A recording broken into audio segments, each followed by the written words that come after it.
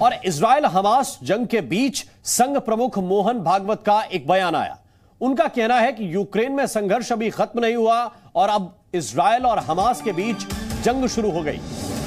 सभी सुविधा के बावजूद दुनिया खुश नहीं है। दुनिया के पास सब कुछ है, लेकिन संतोष केवल भारत में है। विश्व को जिन बातों की आज आवश्यकता है, उन बातों को विश्व को दे सकने वाला दुनिया में एकमात्र देश है भारतवर्ष।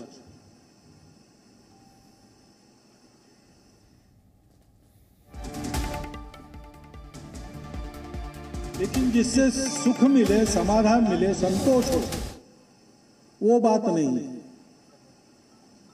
और जो बाकी सब कुछ है, वो हमको न बिगाड़े, इसके लिए जो डिफेंस चाहिए, सुरक्षा चाहिए, वो बाकी लोगों के पास नहीं। है Z News.